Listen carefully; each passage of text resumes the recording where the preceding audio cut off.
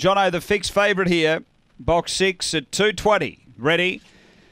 Racing, Alan Jono began pretty sharply. It's uh, carving over, in fact. It's going to lead. Alan Jono leads him out of the straight. Crackerjack Glen around the outside, getting underneath it. Dakota Peach, and it's uh, going to try and challenge down the back. Fourth is El Serena, uh, then Miss Audrey and Dixie Chick out the back. Down the back, it's Alan Jono being tackled now by Dakota Peach, who moves up. They go together. Next is Crackerjack Glen and a breakaway. Miss Audrey on the turn. Alan Jono's kicking back underneath Dakota Peach. Is getting clear again, the leader, Alan Jono. And Alan Jono beats Dakota Peach on its merits.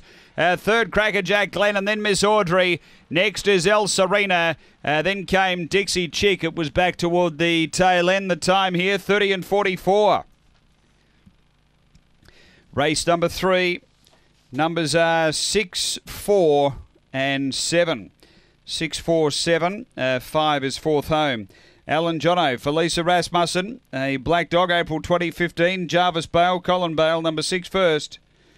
Uh, second, going to four, Dakota Peach, Colin Symes, a Blue Bitch, October 2015, Swift Fancy, Gable the Flash, and seven, Crackerjack Glen, Sharon Gray, a Black Dog, March 2015, DJ's Octane 5%.